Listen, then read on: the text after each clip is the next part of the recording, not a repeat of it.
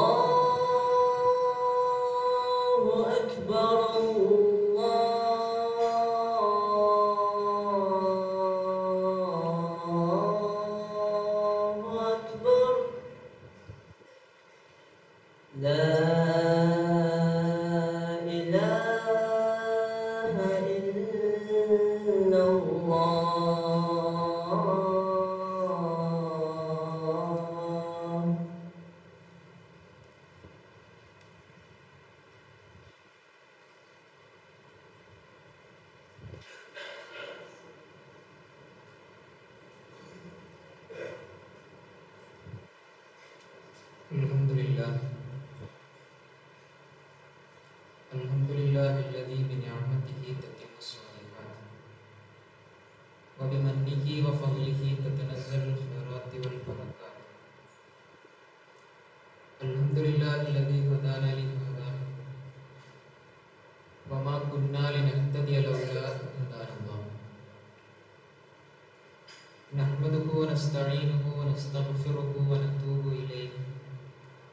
ونعوذ بالله من شرور أنفسنا ومن سيئات أعمالنا من يهده الله فلا مضل له ومن يضلل فلا هادي له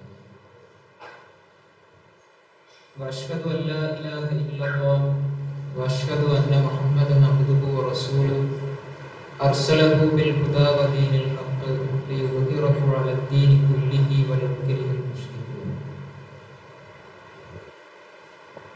اللهم صل على محمد وعلى آل محمد كما صليت على إبراهيم وعلى آل إبراهيم. وبارك على محمد وعلى آل محمد كما باركت على إبراهيم وعلى آل إبراهيم. في العالمين إنك حميد مجيد. فإن خير الكلام كلام الله، وخير الهدي هدي محمد صلى الله عليه وسلم. وشر الأمور محدثاتها وكل محدثة بدعة وكل بدعة ضلالة. يا أيها الناس أوصيكم ونفسي أولا بتقوى الله. أعوذ بالله من الشيطان الرجيم. بسم الله الرحمن الرحيم. فأما من أعطى واتقى وصدق بالحسنى. فسنيسره لليسرى صدق الله العلي العظيم رب اشرح لي صدري ويسر لي أمري واحلل عقدة من لساني يفقهوا قولي സ്നേഹാദരണീയനായ വിദ്യാർത്ഥികളെ വിദ്യാർത്ഥിനികളെ ബഹുമാനം നിറഞ്ഞ അധ്യാപകർ അള്ളാഹു സുബ്ഹാനഹു തആല നമ്മെ എവരെയും അനുഗ്രഹിക്കുമാറാകട്ടെ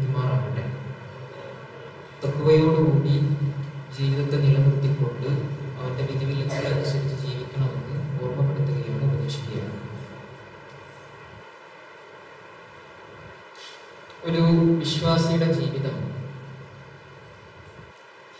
അല്ലെങ്കിൽ ഒരു മുസ്ലിമിന്റെ ജീവിതം ഒരുപാട് പരീക്ഷണങ്ങളും ഒരുപാട് പ്രതിസന്ധികളും ഒക്കെ നിറഞ്ഞതാണ് എന്ന് നമുക്ക് എല്ലാവർക്കും അറിയാം. പലപ്പോഴും നമ്മൾ അതാണ് കേട്ട് പരിചയിച്ചിട്ടുള്ളത്. ഒരു മുസ്ലിമായി കഴിഞ്ഞാൽ ഒരുപാട് പ്രശ്നങ്ങൾ നേരിടും. അവൻ ഒരുപാട് പ്രതിസന്ധികൾ ഉണ്ടാവും. അവൻ അവന്റെ ദീന് കാത്തു സൂക്ഷിക്കണമെങ്കിൽ ഒരുപാട് കടമ്പകൾ കടക്കേണ്ടി വരും. ഒരുപാട് കല്ലുകളും ഉള്ളുകളും അതിജീവിക്കേണ്ടി വരും എന്നൊക്കെ നമ്മൾ കേട്ടിട്ടുണ്ട്. തക്കുവയെ തന്നെ ഉമർ അങ്ങനെയാണ് തക്കുവ എന്ന് പറഞ്ഞു കല്ലുകളും മുള്ളുകളുമുള്ള ഒരു വഴിയിലൂടെ കല്ലുകളും മുള്ളുകളും തട്ടാതെ നടക്കുന്ന ആ പ്രവർത്തനത്തെ തത്വയിലോട് ഉപമിച്ചിട്ടുണ്ട്.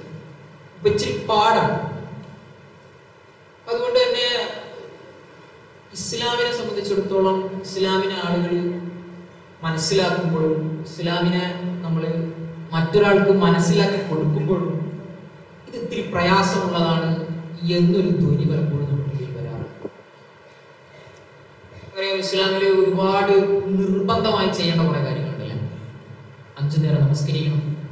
റമദാനായി കഴിഞ്ഞാൽ മുപ്പത് ദിവസം നോമ്പെടുക്കണം അതും ഭക്ഷണപാനീയങ്ങൾ ഒഴിവാക്കിയിട്ട് ചില കാര്യങ്ങൾ നിർബന്ധമായി തന്നെ ചെയ്യണം. ചില കാര്യങ്ങൾ നിർബന്ധമായും ഒഴിവാക്കണം. പലരും ആസ്വദിക്കുന്ന പല സംഗതികളും നമുക്ക് ചെയ്യാൻ കഴിയില്ല. ഇസ്ലാമിനകത്ത് കുറേ കണിശതകളൊക്കെ ഉണ്ട്. ഇതും ഒക്കെ മുന്നിൽ കണ്ടുകൊണ്ട് നമ്മൾ ഭയങ്കര പ്രയാസമായിട്ട് ഇസ്ലാമിനെ പരിചയപ്പെടുത്താറുണ്ട്. ഇതിന് ഉത്തരങ്ങളായിട്ട് പറയുമ്പോൾ സാധാരണ പറയാ ആത്യന്തികമായ വിജയം പരലോകത്താണ് എന്ന് പറഞ്ഞുകൊണ്ടാണ്. ഈ ലോകത്ത് കുറച്ച് പ്രയാസപ്പെട്ട് ഇവിടെ അങ്ങ് ജീവിച്ചു കഴിഞ്ഞാൽ പരലോകത്ത് കഴിഞ്ഞാൽ വലിയ സുഖമാണ് കിട്ടുക ഇതാണ് മൊത്തത്തിൽ ഇസ്ലാമിനെ കുറിച്ച് നമ്മൾ മനസ്സിലാക്കുന്നതും നമ്മൾ പഠിച്ചതൊക്കെ അങ്ങനെ തന്നെയായിരുന്നു.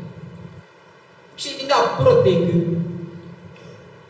ഈ ഒരു സത്യം നിലനിൽക്കുമ്പോൾ തന്നെ ഇതിന് വിപരീതമായ ഒരു സത്യം കൂടി ഇതിനൊപ്പം നിലനിൽക്കുന്നുണ്ട് എന്ന് കൂടി മനസ്സിലാക്കണം.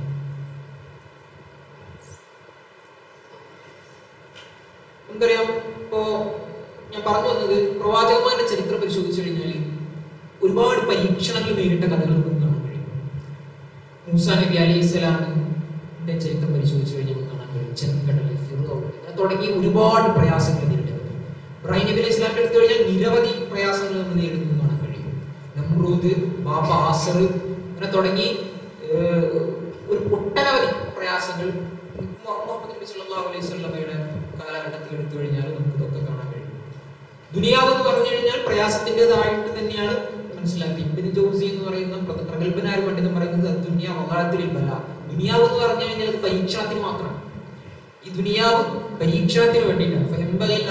യുവത്തിന് നഫ്സുകളായ സ്വബർ അതുകൊണ്ട് തന്നെ സ്വബറിൽ ഉറപ്പിച്ചു നിർത്തുക എന്നതാണ് ഒരു ആക്കിൽ അഥവാ ഒരു ബുദ്ധിമാൻ ചെയ്യുക അതായിരിക്കും എന്ന് ഇബിന് ജോസി പറയുന്നുണ്ട് അപ്പൊ അതുകൊണ്ട് ദുനിയാവ് പ്രശ്നങ്ങളാണ്. പ്രശ്നങ്ങളെ പ്രശ്നങ്ങൾ മുന്നിൽ നിന്ന് നടത്തിയതിന്റെ മാതൃക നമുക്ക് പ്രവാചകന്മാരെല്ലാവരും കാണിച്ചു തന്നിട്ടുണ്ട്.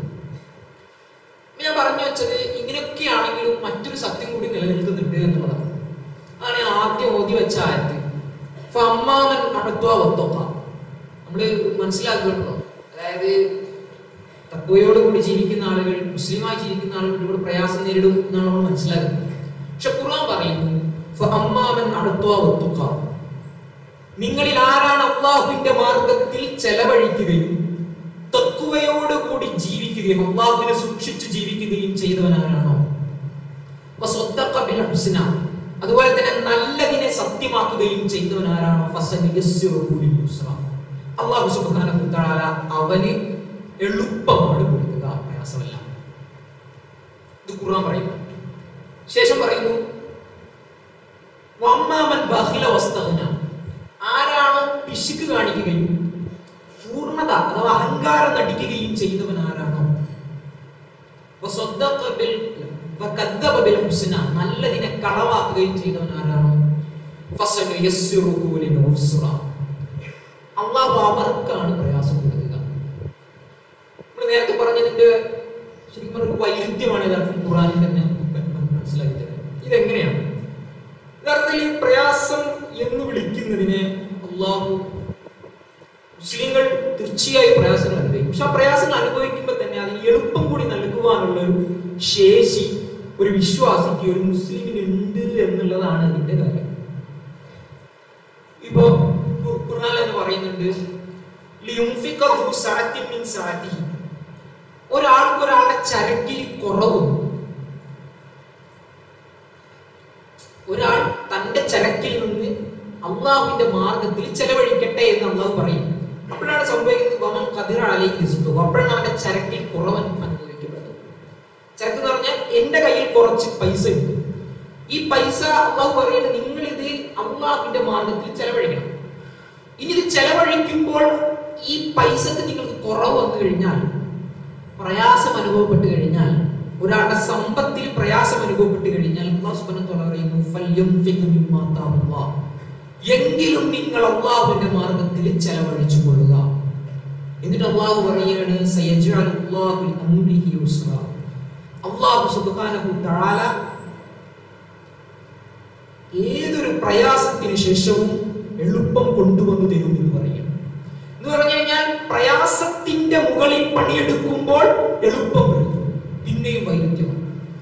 ഇസ്ലാമിൽ ഈ വൈരുദ്ധ്യത്തിൽ എന്തുകൊണ്ടാണ് ഇസ്ലാം പ്രയാസമാണ് എന്ന് കരുതുന്ന സംഗതിയിലൂടെ അതിലൂടെ പ്രയാണം നടത്തുമ്പോൾ എളുപ്പത്തെ കണ്ടുപിടിക്കാൻ കഴിയുന്ന ഒരു പ്രത്യേക തരത്തിലുള്ള കഴിവ് ഒരു വിശ്വാസിക്ക് ലഭിക്കുന്നുണ്ട് എന്നതാണ് നമ്മൾ മനസ്സിലാക്കേണ്ടത്. യാത്ര മറ്റൊരു വിദ്യാധാരയാണ്. ഇസ്ലാമിന് വെറും പ്രയാസമാണ് എന്ന് പറയുന്നത് ഒരു സത്യമല്ലാത്തൊരു ധാരണയാണ്. അങ്ങനെയല്ല. വിശ്വാസികൾ പലപ്പോഴും എളുപ്പമാണ് അനുഭവിക്കുക. പുറമേ നിന്ന് നോക്കുമ്പോൾ വളരെ പ്രയാസപ്പെടുന്ന പല സംഗതികളും ഒരു വിശ്വാസിയുടെ മനസ്സിനുള്ളിൽ വളരെ എളുപ്പത്തോടു കൂടി ചെയ്തു തീർക്കുന്നത് നമുക്ക് കാണാൻ കഴിയും. അതാണ് ഒരു മുസ്ലിമിന്റെ പവർ എന്ന് പറയുന്നത് അവിടെയാണ് തക്കുവയോടുകൂടി തക്കുവയിൽ അധിഷ്ഠിതമായി ജീവിക്കുന്ന ഒരാൾക്ക് എന്തും വളരെ എളുപ്പത്തിൽ ചെയ്തു തീർക്കുവാൻ കഴിയും. ഏതൊരു പരീക്ഷണ പ്രയാസങ്ങളും അതുകൊണ്ടാണ് അല്ലാഹു സുബ്ഹാനഹു വ തആല "വമൻ യത്തഖില്ലാഹു യജ്അൽ ലഹു മിൻ അംരിഹി യുസ്റ." ആരാണോ അള്ളാഹുവിനെ സൂക്ഷിച്ച് ജീവിക്കുന്നവര് അവർക്ക് എന്റെ കൽപ്പനയിൽ അവർക്ക് എളുപ്പമുണ്ട് എന്ന് പറയുന്നത് അതുകൊണ്ടാണ് തെക്കുവ ഇല്ലാത്തവർ നമസ്കരിക്കുമ്പോൾ വളരെ പ്രയാസമായി തോന്നുന്നത് തൊക്കുവയോടുകൂടി നമസ്കരിക്കുമ്പോൾ വളരെ എളുപ്പമായിട്ട് ആ നമസ്കാരത്തെ വളരെ സുന്ദരമായി നമുക്ക് അനുഭവപ്പെടുന്നത് അതുകൊണ്ടാണ്. തെക്കുവ ഉണ്ടായാൽ നമുക്ക് ഏത് പ്രയാസവും എളുപ്പത്തോടു കൂടി ചെയ്തു പോകാൻ കഴിയും. ഇത് ഖുർആൻ പരിശോധിച്ചു കഴിഞ്ഞാൽ നിരവധി സ്ഥലത്ത് നമുക്ക് കാണുവാൻ കഴിയും. സ്ത്രീകളുടെ ആർത്തവത്തെ കുറിച്ച് പറയുമ്പോൾ അള്ളാഹു എളുപ്പത്തെ കുറിച്ച് പറയുന്നുണ്ട്. നോമ്പിനെ കുറിച്ച് പറയുമ്പോൾ അള്ളാഹു എളുപ്പത്തെ കുറിച്ച് പറയുന്നുണ്ട്. എന്തുകൊണ്ടാണ് നോമ്പ് നിർബന്ധമാക്കി. നോമ്പ് അറബികളിലെ അറബികൾക്ക് ആദ്യമായി നിർബന്ധമാക്കുന്ന ആയത്തുകളുണ്ട് ആ ആയത്തിൽ അള്ളാഹു സുബ്ഹാനഹു പറയുന്നുണ്ട് യുരീദുല്ലാഹു ബിക്കുമുൽ യുസ്റ വല വമാ യുരീദു ബിക്കുമുൽ അള്ളാഹു സുബ്ഹാനഹു തആല നിങ്ങൾക്ക് നോമ്പിലൂടെ എളുപ്പമാണ് ഉദ്ദേശിച്ചിട്ടുള്ളത് പ്രയാസമല്ല. അതായത് നോമ്പ് എന്ന് പറഞ്ഞാൽ എന്താണ്? പകൽ നേരത്തെ ഭക്ഷണപാനീയങ്ങൾ ഒഴിവാക്കണം. മറ്റു പല സംഗതികളും ഒഴിവാക്കേണ്ടുന്ന ഒരു പ്രത്യേക തരത്തിലുള്ള വിവാദത്താണ് നോമ്പ്. ഈ നോമ്പ് ഒരു പ്രയാസമല്ല അതിലൂടെ അമ്മ ഉദ്ദേശിക്കുന്നത് നിങ്ങൾക്ക് എളുപ്പമാണ് എന്ന് പറഞ്ഞു കഴിഞ്ഞാൽ അതിന്റെ വേറൊരർത്ഥം നോമ്പിലൂടെ നിങ്ങൾ ഒരിക്കലും പ്രയാസം അനുഭവിക്കാൻ പാടില്ല. അങ്ങനെ പ്രയാസം അനുഭവിക്കപ്പെടുന്നുണ്ടെങ്കിൽ അതല്ല യഥാർത്ഥത്തിലുള്ള നോമ്പ്. കാരണം അന്ന് ഉദ്ദേശിച്ച നോമ്പ് അതല്ല. അന്ന് ഉദ്ദേശിച്ച നോമ്പ് അത് എളുപ്പം വരുന്ന നോമ്പാണ്. അവിടെയാണ് തെക്കുവയുള്ള ഒരാൾ നോമ്പ് നോക്കുമ്പോൾ കിട്ടുന്ന ആനന്ദവും എളുപ്പവും എന്ന് പറയുന്നത് ഇത് ചരിത്രത്തിൽ വളരെ പ്രകടമാണ് നമ്മൾ പറയും പ്രവാചകന്മാരുടെ ചരിത്രം പരിശോധിച്ചു കഴിഞ്ഞാൽ ഒരുപാട് പ്രയാസങ്ങളല്ലേ നമുക്ക് കാണാൻ കഴിയുക എന്നുള്ളതാണ്. അല്ല പ്രവാചകന്മാരുടെ ചരിത്രം പരിശോധിച്ചു കഴിഞ്ഞാൽ ഒരു മനുഷ്യനും കടന്നു പോകാൻ കഴിയാത്ത പ്രയാസങ്ങളിൽ എളുപ്പം കണ്ടെത്തിയ ആളുകളാണ് പ്രവാചകന്മാരിൽ നമുക്ക് കാണാൻ കഴിയും നമുക്ക് ഏറ്റവും കൂടുതൽ പ്രയാസങ്ങൾ അനുഭവിച്ച പരീക്ഷണങ്ങളിൽ നേരിട്ട പ്രവാചകനായിട്ട് പലപ്പോഴും നമ്മൾ ചരിത്രത്തിൽ നിന്ന് പരിചയപ്പെടുത്താറുള്ളത് ഇബ്രാഹിം നബി അലൈഹി ഇസ്ലാം ഇബ്രാഹിം നബി അലൈഹി ഇസ്ലാമിന്റെ ചരിത്രം നമുക്ക് പരിശോധിച്ച് നോക്കാം. ഇബ്രാഹിം നബി അലൈഹി ഏറ്റവും അനുഭവിച്ച ഒരു പ്രയാസമായിരുന്നു. സ്വന്തം അല്ല നമ്രൂദി നമ്രൂദും കിങ്കരന്മാരും തീക്കനലിൽ കൊണ്ടിട്ടത് ഒരു വലിയ പരീക്ഷണമായിട്ട് ഖുർആൻ പരിചയപ്പെടുത്തുന്നുണ്ട്. വലിയ പരീക്ഷണം തന്നെയാണ്. ഒരു പ്രവാചകൻ നേരിടാത്ത ഏറ്റവും വലിയ പരീക്ഷണമാണ് തീക്കുണ്ടത്തിലേക്ക് എറിയപ്പെട്ടു പ്രവാചകൻ ഇബ്രാഹിം നബി അലൈഹി പക്ഷെ നമ്മൾ മനസ്സിലാക്കേണ്ടത് ലോക ലോകത്ത് ഇന്നേ വരെ ഒരാൾ പോലും തീക്കുണ്ടത്തിലേക്ക് എറിയപ്പെട്ടിട്ട് കുളി അനുഭവപ്പെട്ടിട്ടില്ല.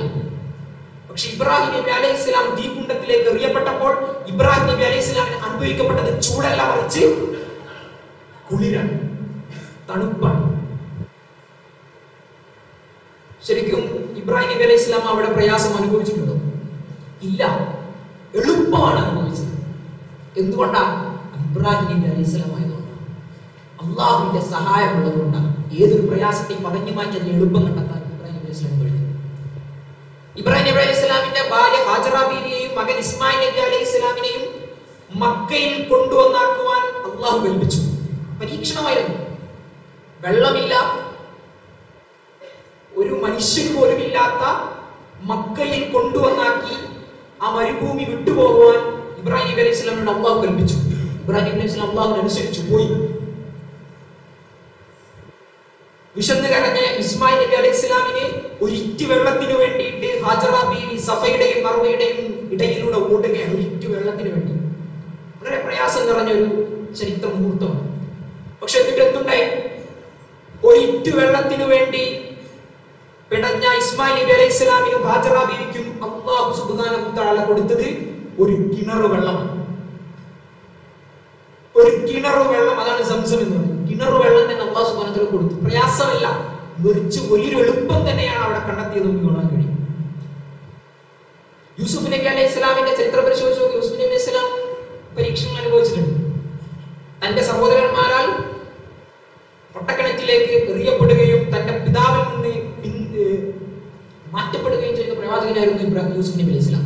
പക്ഷെ പിന്നീട് യൂസുഫ് നബി അലൈഹി സ്വലാമിന്റെ ചരിത്രം പരിശോധിച്ചു കഴിഞ്ഞാൽ അതിനും ശേഷം പിന്നീട് ജയിലിൽ ജയിൽവാസ് ഒരുപാട് വർഷങ്ങൾ കിടക്കുന്നു. ഈ പ്രയാസങ്ങളൊക്കെ എടുത്ത് പരിശോധിച്ചു കഴിഞ്ഞാൽ നമുക്ക് കാണുവാൻ കഴിയും. പിന്നീട് ഒരു ഘട്ടത്തിൽ യൂസഫ് നബി അലൈഹി സ്വലാം ഈജിപ്ത് ഭരിക്കുന്ന വളരെ പ്രധാനപ്പെട്ട ഒരു മന്ത്രിയായിട്ട് മാറുന്നുണ്ട്. ഇതാണ് ഒരു വിശ്വാസി കണ്ടെത്തുന്ന എളുപ്പം. പ്രയാസമായിരുന്നു. പക്ഷെ ആ പ്രയാസത്തിലൂടെ മുന്നോട്ട് കടന്ന് എളുപ്പത്തെ കണ്ടെത്തുവാൻ യൂസഫ് നബി അലൈഹി സ്വലാമിന് കഴിഞ്ഞു മൂസാ നബി അലൈഹി സ്വലാമിന്റെ ചരിത്രം പരിശോധിച്ച് നോക്കൂ. പിന്നിലെ ഫിറോനും കിങ്കരന്മാരും തൊട്ടു മുമ്പിൽ ചെങ്കടൽ നിൽക്കുന്ന വളരെ പരീക്ഷണം നിറഞ്ഞ ഒരു അസുലഭ ഘട്ടത്തിൽ നമുക്ക് മന- നമ്മൾ മനസ്സിലാക്കണം ലോകത്തിന്റെ വരെ ചെങ്കടൽ പിളർന്നിട്ടില്ല. പക്ഷേ മൂസ നബി അലൈഹി സ്വലാമിന്റെ മുമ്പിൽ അന്ന് ചെങ്കടൽ പിളർന്നു.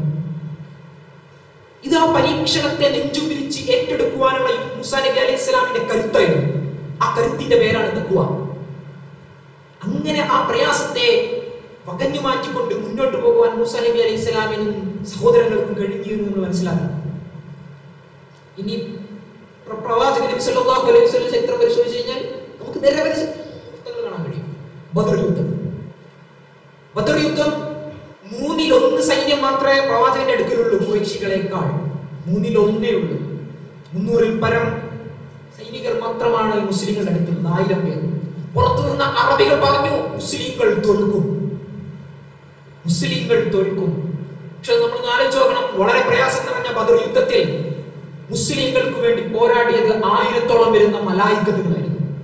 മലക്കുകൾ അള്ളാഹു ഭൂമിയിലേക്ക് ഇറക്കിക്കൊണ്ട് യുദ്ധം ചെയ്യുകയായിരുന്നു വേറെ ആർക്ക് കിട്ടും ഈ ഒരു എളുപ്പം. ആർക്കും കിട്ടിയില്ല പക്ഷേ അറേബ്യയിലെ മക്കയിലെ മുസ്ലിങ്ങൾക്ക് അത് കിട്ടി എന്നുള്ളതാണ് നമ്മൾ മനസ്സിലാക്കുന്നത്.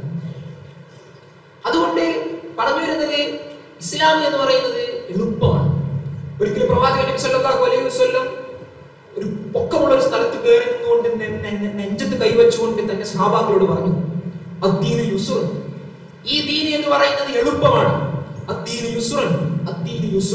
മൂന്ന് തവണയാണ് പറഞ്ഞത്. ഈ ദീന് എളുപ്പമാണ്.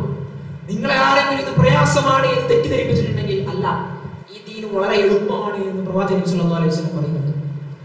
നമുക്കറിയാം നമ്മൾ പലപ്പോഴും ഓതാറുള്ള നമുക്ക് അറിയാവുന്ന ഒരു ആയത്താണ് ഇന്ന മഴ ഇസ്ലാം എന്താ ഇതിന് പലപ്പോഴും നമ്മൾ അർത്ഥം കൊടുക്കൽ എന്താണ്? ഏതൊരു പ്രയാസം കഴിഞ്ഞാലും നമുക്ക് കുറച്ച് കഴിഞ്ഞാൽ എളുപ്പം കിട്ടും. പിന്നെ പ്രയാസം വരും അതും കഴിഞ്ഞാൽ കുറച്ച് കഴിഞ്ഞാൽ പിന്നെ പ്രയാസം വരും പിന്നെ എളുപ്പം വരും. പക്ഷെ അർത്ഥം വെക്കൽ തെറ്റാണ്. അറബി മാ എന്ന പദം ശരിക്കും കഴിഞ്ഞാലുള്ള പദം കഴി- കഴിയുന്നതിനല്ല അതിന് ബാധ എന്നാണ് പ്രയോഗിക്കുക മാ എന്ന് പറഞ്ഞു കഴിഞ്ഞാൽ ഒപ്പമുള്ളത് എന്നാണ്. ഏതൊരു പ്രയാസത്തിന്റെ ഒപ്പം എളുപ്പമുണ്ട് എന്നതാണ്. അതുകൊണ്ട് നമ്മൾ അനുഭവിക്കുന്ന പ്രയാസത്തിനകത്ത് ഒരു എളുപ്പത്തിന്റെ കണികയുണ്ട് ആ കണിക കണ്ടുപിടിക്കുവാൻ കഴിയുന്ന ശേഷി അള്ളാഹു സുബാനത്തല കൊടുക്കുന്ന വിശ്വാസികൾക്കാണ് അങ്ങനെ കഴിയണം. അത് കഴിയേണ്ടതിന് ഒരുപാട് മാർഗങ്ങളുണ്ട് ആ മാർഗങ്ങൾ നാം അവ- അവലംബിക്കുവാൻ കഴിയണം. എന്തൊക്കെയാണ് ആ മാർഗങ്ങൾ അതിൽ ഒന്നാമത്തെ വളരെ പ്രധാനപ്പെട്ട ഒന്നാണ് സ്വബർ ഉണ്ടാകുന്നത് ക്ഷമ. എന്താണ് ക്ഷമ? എന്നൊരാൾ അടിച്ചു കഴിഞ്ഞാൽ തിരിച്ച് അടിക്കാതിരിക്കുന്നതിനെയല്ല ക്ഷമ എന്ന് പറയുന്നത്. ക്ഷമ എന്ന് പറഞ്ഞു കഴിഞ്ഞാൽ ഉറപ്പാണ്. നമുക്ക് സ്ഥൈര്യമാണ്. നമ്മൾ ഏതൊരു പ്രയാസ ഘട്ടങ്ങളിലും ടെൻഷനുള്ള ഘട്ടങ്ങളിലും നമുക്ക് നിൽക്കുവാൻ കഴിയണം തവക്കലോടുകൂടി അള്ളാഹുവിന്റെ മാർഗത്തിൽ പിടിച്ചു നിർത്താൻ ഉറപ്പിനോടുകൂടി നിൽക്കാൻ പതറിപ്പോകാതിരിക്കുവാനുള്ള ശേഷിയാണ് യഥാർത്ഥത്തിൽ സ്വബറി എന്ന് പറയുന്നത്. രണ്ടാമത്തെ വളരെ പ്രധാനപ്പെട്ട മാർഗം എന്ന് പറയുന്നത് നമ്മൾ നമ്മുടെ ദുർബലതയെ തന്നെ തിരിച്ചറിയണം. നമ്മൾ മനുഷ്യന്മാരാണ്. നമ്മളെ കൊണ്ട് ഒന്നിനും കഴിയില്ല.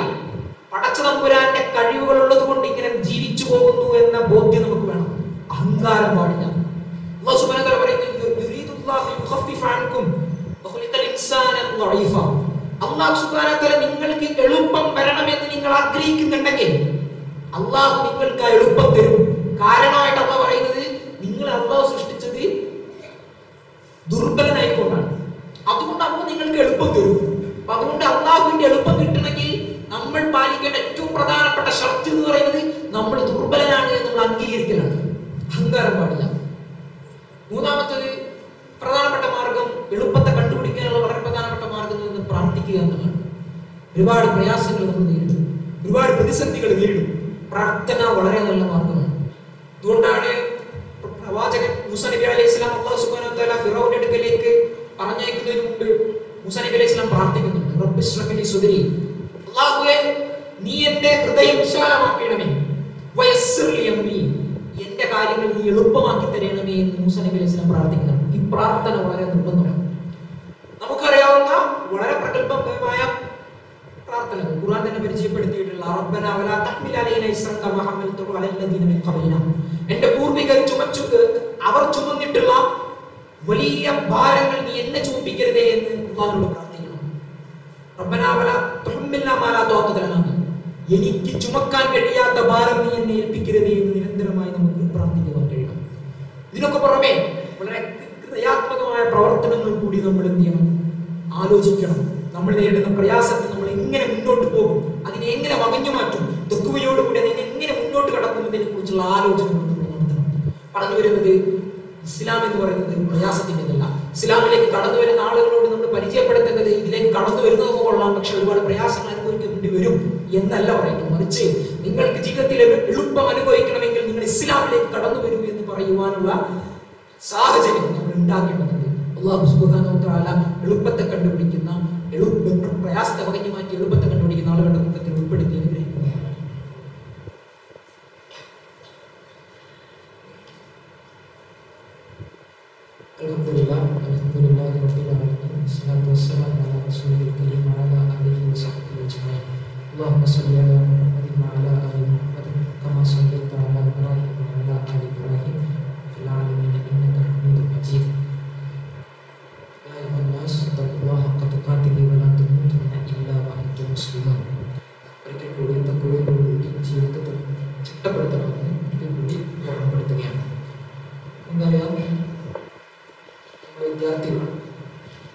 വിദ്യാർത്ഥി ഘട്ടത്തിൽ ഒരുപാട് പ്രയാസം അനുഭവിക്കുന്നു.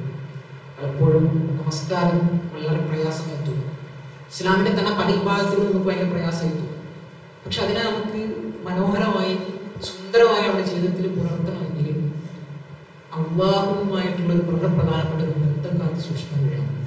അള്ളാഹുവിനോ ഭയന്നുകൊണ്ട് സ്നേഹിക്കുക എന്നതിനേക്കാൾ അപ്പുറം പടച്ചവനെ സ്നേഹിച്ചുകൊണ്ട് സ്നേഹിക്കുവാൻ കഴിയണം. അങ്ങനെ ഒരു ബന്ധത്തിലൂടെ ഉണ്ടാക്കിയെടുക്കുന്നതോടുകൂടി നമുക്ക് ഏതൊരു പ്രയാസത്തെയും അണിഞ്ഞു മാറ്റിക്കൊണ്ട് മുന്നോട്ട് പോകാൻ കഴിയും അപ്പൊ പിന്നെ അള്ളാന്റെ കൽപ്പനകളിൽ മാത്രമല്ല ഈ പുറത്തുനിന്നുള്ള ഏതൊരു ദുഷ്ടശക്തികളുടെയും പ്രയാസത്തെയും നമുക്ക് പറഞ്ഞു മാറ്റിക്കൊള്ളാൻ കഴിയും നമ്മുടെ എല്ലാ പ്രയാസങ്ങളും ദൂരീകരിച്ച് നൽകുമാറാകട്ടെ പടച്ചതമ്പുരാനെ ഞങ്ങൾ അനുഭവിക്കുന്ന കഷ്ടതകൾ പ്രതിസന്ധികൾ പരീക്ഷണങ്ങൾ എല്ലാത്തിനെയും അകഞ്ഞു മാറ്റിക്കൊണ്ട് നിന്റെ എളുപ്പത്തെ കണ്ടുപിടിക്കുവാൻ നിങ്ങളെ നിന്ന് വന്നുപോയിട്ടുള്ള ചെറുതും വലുതുമായ എല്ലാ തരുമാറാകട്ടെ അള്ളാഹു ഞങ്ങളിൽ നിന്ന് പ്രയ- രോഗം കൊണ്ട് പ്രയാസപ്പെടുത്തുവാനാണ് അള്ളാഹു അവർക്ക് ശിഫ നൽകി അനുഗ്രഹിക്കുമാറാകട്ടെ اللهم اغفر للمؤمنين والمؤمنات والمسلمين والمسلمات الأحياء منهم والأموات إنك مجيب الدعوات يا قاضي الحاجات طيب ثرانا وثراكم وجعل الجنة مأوانا ومأواكم اللهم أعز الإسلام والمسلمين وأذل الشرك والمشركين وأذل الظلم والظالمين وأذل الكفر والكافرين اللهم أجرنا من النار اللهم أجرنا من النار اللهم أجرنا من النار ربنا هب لنا من أزواجنا وذرياتنا قرة أعين واجعلنا للمتقين إماما ربنا آتنا في الدنيا حسنة وفي الآخرة حسنة وقنا عذاب النار ربنا تقبل منا إنك أنت السميع العليم وتب علينا إنك أنت التواب الرحيم